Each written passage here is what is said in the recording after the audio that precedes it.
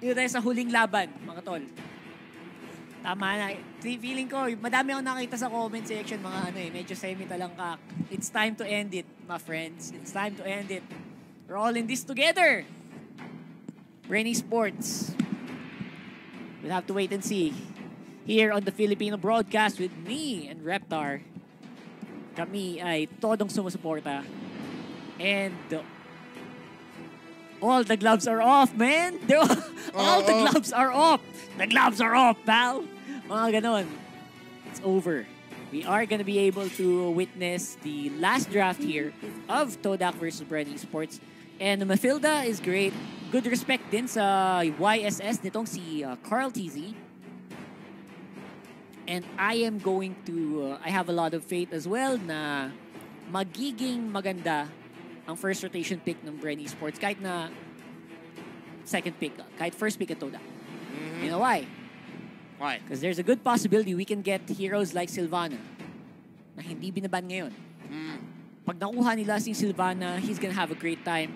Yung show niya kanina, it was great. Madaming huli.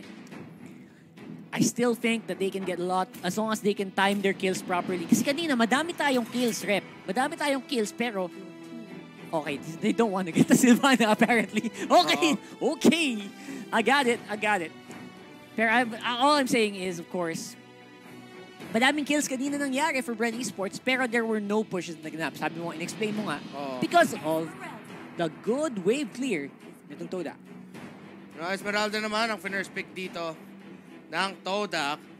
Natingnan natin kung parehas naman yung respon, ah, response ng Bren Esports na mapipili sila ng boxer early. Pero hindi. Kinuha na kagad ni, na, ng Bren Esports ang Claude ni Carl Tizzy as well as securing the Yuzong Barake Flap. On Todak, they have a chance to Pwede nila subukan kunin yung Baksha or the na hindi nila kukunin yung Cho. Pero may history din naman yung Todak na magsa-side lane Cho eh. Ah, na nilalagay sa XP lane. But they go for the Hayabusa. Ang bilis ng picks dito ng Todak. Parang going into the match, ano, may, may isip na din sila. And as well as Bren, picking up the Selena again. Tignan natin kung Todak magbibigay sila ng Farsa dito. Again, pinakita natin, pinakita nila na nire-respeto nila yung side lane Farsa ng Bren. Specifically Ribo. Carl TZ on the Claude. Ako, I'm not sure about the Claude right now, sa totoo lang. Doon ako kinakabahan. Kasi ito na, isa, isa din to sa mga pag-in-early pick mo, madaming possible counters. Now, Hayabusa's great. Maganda to panghabol sa Claude kasi kaya nitong tumagal sa kaya nitong tumagal sa Blazing Duet. It's also, kahit mas stun mo tong Hayabusa na to, kaya din niya umiwas with the, with the Shadow Kill. Now the banning, I'm expecting a, a, a bit of a... Possible mag-ban ng Cho. Mga heroes ni, ni Lasty dito for Toda. I'm not sure if that's gonna happen. La, yan ka. Jawhead is a good one. Possible si Lasty pa rin na yung ban dito ng Todak. Ayun, Bren din like. Like ng ina ka. out, ano ah, Ano? atig. Tiger, no? Pwede, Kasi pwede. pwede pa rin nila i-side lane backshot. Biglang iwombo-combo, no? Oo. Then si Esmeralda lalagay sa gold lane. So again, meron silang ano, makunat na tatlo. Your team is Okay, so Farsa naman ang binanout ng Bren. Actually, hindi yung Todak na nag-ban out dito. Ng Farsa. Bren, mi- Bren Omsim. Home sim. Ayaw nila kalabanan yung Farsa na yan. Oh my G. Actually, baka, baka mag... Peleric pa nga tong Todak eh. Pwede, no? They already have a good source of magic damage para sa mid to late game with the Esmeralda. And go. yeah, a lot of picks here possibly for Brendan. Todak na lang, oo nga, isipin nila magtatanggal pa ba tayo ng tank o isa pa na, ano, na pwede mag-complement sa lineup dito ng Bren. We'll see. We'll see. Again, I think that uh, banning the Farsa, usually Bren, ano to eh, Bren move to eh, no? Oo. Or early pick Farsa. Pero now, parang lumayo na sila sa usual na ginagawa nila. They're banning it out. Uh, Farsa, yan. Predict pa rin. Oh, Ah, Joe. Si Lasty pa rin nga ang tinarget ng Todak, which is really funny because I got a lot of faith in Lusty. Huwag niyo kalimutan, may crack pang nakatago yan. If Oh. ever kailanganin, or if tingin nilang kailangan nila, pwedeng maglabas ng Grok si Lusty. Oh, we don't see Grok We don't see Grok any... Wala pang? Grok pick, by the way, pero last na eh. Ewan ko ah. Possible last. Possible last. So, If biglang mag... Tapos biglang mag-Johnson yung friend, no? Alam ko. Oh! Hindi naman na... Hindi naman siguro. Hindi naman siguro. Hindi naman siguro. Si Ripo, lalo nang isip. Kape lang yan. Alice, that's Kuya a great, Ripo, kaya, kaya mo yan. great pick. That's a great Kaya pick for niya yan. Rebo, absolutely. And now, Papaisip dito ang Todak. Uh, again, Kodak. they have a boxer na kalaban nila. pwede pa silang mag, ano, pwede pa silang mag carry ulit. Oo, Dito. Oh, double carry. So, pwede mag-double carry itong Todak. Pero 1-1's already gone. No more 1-1, which means wala yung safe na, yun yung safe na ano eh. Oo. Yung safe na double carry. Pwede, Pwede ka- ay, sorry. Pero pwede rin mag-atlas pa rin Todak. Oo, oo, oo, tama. Kasi Well, pwedeng, Oo. kaso hindi ba over-occupied na yung ano? Yung mid lane, di ba? Kasi You know ang daming, tatlong to, pwede mag-side lane tong tatlong to eh. Oo. Si. Ay! Uy, Belleric! Naku po, nasabi ko ba ba? Bumamagic! Na naman! Kunard Ang kukunat na naman ng lineup ng Todak! Ang Kunard Napakakunat! Napakakunat! Tig na lang mapipili dito or Oo, Akay. tingin ko, tingin ko. Pwede rin sila mag-high. High loss tig or High loss? Akay na lang ang naiiwan dito para sa friend. Itong kunat naman ng Todak. Oo nga eh. Iba, iba. Again, ito yung sinasabi ko. Yung handa ng mga ibang bansa para sa mga Selena picks natin, alam nila, ano eh, kailangan natin respetuhan yan. Pero, ah, nilabas! Nilabas ka yung Ano? Sagot! Sagot, ref! Sagot! Nag-drop talaga to! Bren! Oh my God. Bren, I believe! Friend! I believe! Guys, tiwala lang sa Bren Esports, ha? Tama nga. Tiwala lang sa Bren Esports. Last piece crack, my man. Ayan. Last piece crack. Kilala ko tong mga to. Tuli, ano yun eh. My God, I really like it. I really like it. At the same time, kinakabahan ako kasi ang kunat na naman ng lineup. eh. May blazing duet tayo. May blazing duet tayo. Blazing duet ng Susunugin Pinas. natin yung kunat Alam nila. mo naman dito sa Pinas, magaling tayo magbang-bang. Malakas tayo magbang-bang dito sa Pinas. Bren Esports, Magaling tayo tara! magbang-bang. Let's go, Red! Esports! Come on! Come on! Kaya to. Kaya to, Astodak. Ah. One win away, Bren Esports looking for the Philippine comeback of the century. Kapit lang. At tiwala lang para sa Bren Esports as we go, Let's go! into game number two. And look at Grok. The block. Old school, grabe. The old school block. Nakapabalik tayo. Ginamit yung Guardians Barrier para mahinto yung mid-wave kahit saglit lang. Mastery. Ako na nagsabi sa inyo, stacks. panoodin yung mabuti yung si Lasty. You know, mm, you know, close yan. Dami ng one way. Welcome to Cubao. Saka nadadaan dyan. oh, madaming Ito. one- Madaming one way dun. Ito yung Cubao Oh, Grak ng tama, Brent tama, Esports. Oh my God. Okay, pero, ano, easy lang muna tayo. Easy lang, Ako easy gusto lang. lang ng laro. Pero, Still the beginning. again, para sa Todak, ang ganda naman na pull, pinull off nila. Multi-tank setup. The damage, the sustain. Yep. Lamang sila sa mahabang-habang team fights. They are. Again, kinakabahan pa rin ako sa sustain na Oo. pwedeng ilabas ng Todak lineup. Kasi Oo. with its Gatot Kacha, pwede din niyang mapigil si ano eh, Carl TV. Oh. Pero meron din naman tayo magandang damage. Flap TZ, going for the TZ. killing spree at the execute.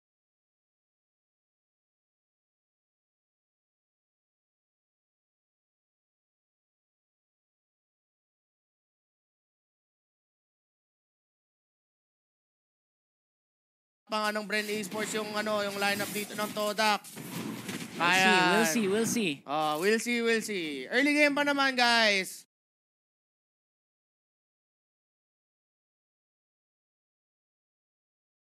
We'll see. Oh, we'll see, we'll see. Early game pa naman, guys. Di pa tapos. I have max respect for this lineup of Todak kasi talagang pinag-isipan nila na sab, siguro binasa nila yung lineup ng Bren, sabi nila, ba't kaya ang bilis manalo ng Brenning Sports usually, di ba? Yun yung siguro inisip nila. Kaya quick sila ng mga napakakutot ng mga hero. Yan, Siku, force a flicker out. Few, on point pa rin ang mga arrow. It's a 3v2 dito sa top lane, fighting over the money, the coin crab coin. Yan, with the arrows from coming from Few. Eh, todo effort naman ng Todak na umiwas. They're still doing good and they are still uh, keeping map under control. Yan na. Unang turtle ng, ng laro, nag-spawn na dito. Level 5 dito para kay Carting. Iwan. Iwan ang mahuhuli dito. But here comes a wiki shadow kill na ginamit ng Todak. Pa, first First blood ang mapupunta dito sa Todak, Malaysia. For Mazy, munti ka na napitas doon si Lasty. Si Here and comes Flappy. Flap! It's a double! Double kill! Oh my G with Flap TZ!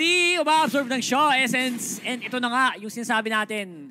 Nagamit ang kanyang execute. And the Ah. bot lane na pabayaan ng konti, pero that's okay. Medyo patay pa tayo sa gold lead. There's no gold lead very very much. Ganito lang. Whew! Mainit, Okay, mainit na okay. palitan mula sa Mainit Todak ka. Brenny Sports. And looking at the skills na meron ang isang Beleric, yung passive niya na habang tinatamaan mo siya, maglalabas yan ng damage din. Parang nagbe-blade armor yan eh, pero parang pa-AOE pa nga ata konti eh. Na that's something that Bren has to look out for. Pero tingnan mo naman si Ribo, si Carl TT blazing to win. At saka yung blood, oh! Na si Chiku sa taas. BMI out. Bren Esports, lumalaban pa rin dito. Yup. Tournament life, Yung backs mga- against the wall. Yung mga support at yung mga nakikipaglaruan dito sa mid lane, it's the clear, it's the clear game para sa Brent Esports at Todak. Ang pinofocus ngayon ng Brent Esports ay yung mga lane na alam nilang kaya nilang kumil. Oo. Reptar. Oo, doon sila nagko-commit doon. And si Ribo ngayon, random ko na, already picking up the clock of destiny. That's gonna be a ton. Ang huli dito si Carl TZ, pero lalaban dito si Few at si Carl. Moon, ingat ka dyan. Avatar of Guardian ang ginamit. Pero the BM! Swabe naman! Swabe naman yun, Kuya Swabe Carl! di! Fast Swabe hands! di! Fast I like kay Dexter! Buti na lang kultak yung BMI nun. Oo Muntik na nga din eh, siya. munti ka na sa maano eh. Pero ano yan? Calculated! Calculated, Ah, Kuya calculated yun. Calculated. Here we go. And it's gonna be the first turtle of the game getting prepared by Brent Esports. Top lane controlled by Rebo. It's a 2v1. Tinamaan na din siya ng anti-lifesteal pero hindi na problema yan. Alam din ng Todak na ito din yung magiging focus ng Brent Esports kaya laging may nakabantay. Ito si X-Ray. Laging hunting din, din itong si Carl TZ. Flicker into the carry. They take him down. X-ray! X-ray, ah. Grabe, no? Where are you going? Sit down. Eh? Tiwala na lang Calculated, calculated. Pero tingnan mo dito sa Ribo. Si Ribo, Surviving 3v1! A 3v1. Grabe naman. Big commitment here. Oy, si Lasty, Oh, si Lasty, Lasty. Clothesline. Clothesline. Siko mo yan. Ayan. Oh, my G. Sikoin mo si Chico. Oh, pero my si G. Lasty abo, huli dito. And now, Bren Esports are gonna lose their tank. Pero in the bottom lane, doon mag-focus si Flap TZ na kailangan niya makukuha ng gold. Nakuha ng gold, nakuha ng gold. We're doing good. So far, Ren Esports are holding steady here in the mid game. Early to mid game right now. Alam nila na hindi nila makakommit na. Kaya talagang hindi nila malaban yung mapapanalo rather yung top lane. Kaya hinayaan na lang nila si Flap TZ na mag-push. Again, few and the rest of the team still controlling the mid.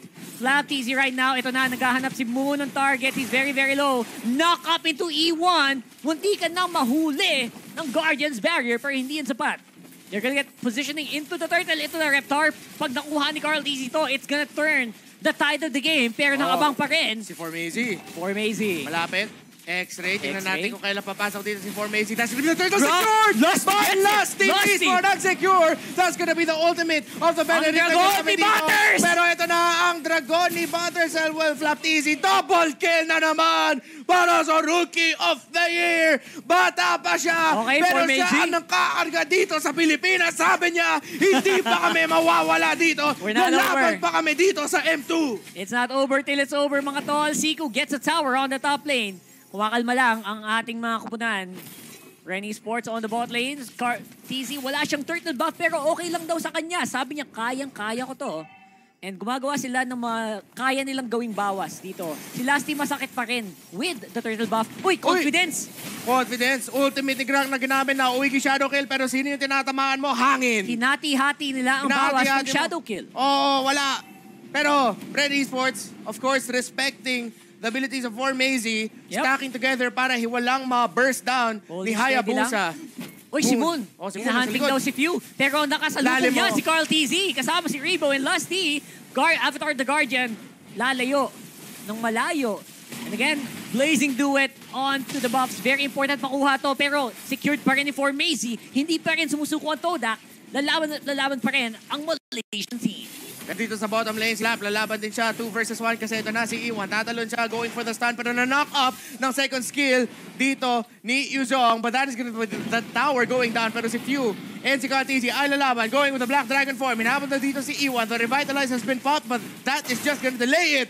And yan Oh, nga, boy. another kill for Bren Esports. And with the lineup that Todak has, nakikita natin yung weakness nila. Hindi sila masyado maka-split push. I mean, they're sending the Belleric, but the speed of the split push is too slow. And the rotation of the Bren, of Bren Esports, mas mabilis pa unstoppable in the bottom lane. Pero 2 for 2 yung tower trade dito, but this is gonna be another fight, Rockhard. One more fight going for Bren Esports. X-Ray gonna get slowed down. Wala masyado bawas ang Bren sa top lane pero padating na ang backup. Una stun na naman ng Abyssal Arrow nito si Few. Napaganda. And the execute could go in. Pero nakapag-avatar the Guardian palabas. Here we go again. Bren. Esports. At Lusty naghahabol. Pinipuwersa ang Todak na gumalaw. Pag hindi kayo gumalaw, kayo ay papanaw, sabi ng Bren. And now, Bren Esports have control over the turtle pit. And this is what we're seeing here. Oh, ang, ang kunat nila. But right now, kulang sa damage. Kulang sa bilis in terms of split pushing. And of course, we have the Carl TZ Claude with the Blazing to West and the attack speeds. Masakit na nga ang damage dito na nilalabas ni Claude. Napang-shadow clone, ah, shadow clone out dito si Formazy pero nagamit na niya yung shadow kill, Rockhart. Tama, ang shadow kill ay gamit na. That means Brand Esports will see an opening. And there's a good possibility na makuha nila itong mid lane. Pero hindi mo nila ito tatrabahuhin. Guluhin mo lang. Ang buff, sabi nila kay Lasty. Nasaan na kaya ang rest of the team? Are they ready for Formazy? Nandito naman sila. And again, slow down the carry. Here we go. Moon, charging it up. Avatar Guardian, wala masyadong target. Rebo, uy, alam nilang pumapwesto. Oo. I like the confidence of Brent, Kuya Reptar. Oh, gusto nila kunin yung Torre John pero mahuli dito si Carl TZ. BMI nakatakas na naman! Ito naman ang ganda ng Brand Esports pero Avatar of Guardian. BMI na naman si Carl TZ para makaiwas. Few and Lusty going up against Moon but the Repo space out is there. Flap TZ, ito na naman siya! Going after E1! The kill not yet secured! Nakatakas doon ng back siya but Brand Esports have a bit of the lead. They still have Carl TZ here. And let's see what Brand are gonna do with this situation. Flap TZ, up. masastaan, mahuhuli siya. Ang dami niyang damage na kinakain pero kulang pa ng damage ang Todak dito as Bren Esports with the 4K goal ni! Chico sa orange buff for Mazy na wala. Si Moon na wala rin. Tas si Chico yung kanina. Bren Esports, hindi pa tapos ang laban ng Pinas. Blazing duet ng Pinas. Itong si Carl TZ. Humahanda na ngayon ng Brent Esports sa mid lane. 6K on the goal lead, mga kaibigan. Simula silang ano, magbakbakan. Where are you going? The exit is blocked by the Grok. Netong si Lasty, tower going down. Malaki lang na alamang. Top lane going down. Mega kill on the fuel. Oh my G, Kuya Reptar. Nagsisimula na ang pagbago ng api. As Bren Esports, bottom tower ang tinitignan nila dito, Kuya Ra. Kasi one naman, dami yung burst. The damage na nilalabas dito ni Flap TZ. Level 9 pa lang si Iwan as well as Moon. X-ray pa lang yung level 11 dito para sa Todak frontliners but the lead of Bren Esports. Kailangan nila mag-ingat. Naku Iwan po. ni pero the lineup, the damage, Repo with the blood ode. Moon mapapabalik. Chico Galit na lang galit. dito sa ilalim. Galit na galit. Si Kuya. Rico. Iwan din ang maiiwan. Godlike for Flap TZ. Pero here comes the Avatar of Guardian for the Blazing Duet is there. And the stun by Ripo. Brad Esports with a four-man kill. Naglilinis na. Hindi pa tapos ang laban ng Pinas. Bren Esports! Hindi pa basag yung Dore, Kuya Rock, pero ramdam ko na. Ramdam ko na. Ramdam ko na. Matagal-tagal ang the timers, Kuya Raptor. Oo. And here na. comes the minions. Minion waveform, Macy, subu susubukan niya lang i-clear out. Pero, goes down. One, one, Bren Esports, lumalaban. Brady Sports are still alive, mga tol! Oh my G talaga! Woo! Buhay pa. And collected. Buhay I like pa tayo, it. Pilipinas. And collected lang si, sila Kuya Maribo. Si Carl halata, gising na Oo. gising eh. oh. Gising na gising, ang child prodigy. Oo. Oh my G! Bren, buhay pa rin. Buhay pa rin, tol. We're still in it. In it to win it. Tiwala lang, Pinas. Sabi namin nila, Kuya Rock, Kuya Rock mo, tiwala lang. Ano ba yan? lang. O, o, sabi ni Chico ganun, easy lang, easy lang. Pero Yan. yun. So, ang masasabi ko lang, ang bilis pa lang nilang gumawa ng jersey. Oo nga eh. Bilis eh. Ano, ano ko din? Ano? Oh, Oh, um, shit. mapapalikod ako, pero mak- makapalikod Wala eh, eh. meron eh. Okay lang. Wala, okay din, okay so, great job from Brenny Sports. We are one-on-one here against Todak.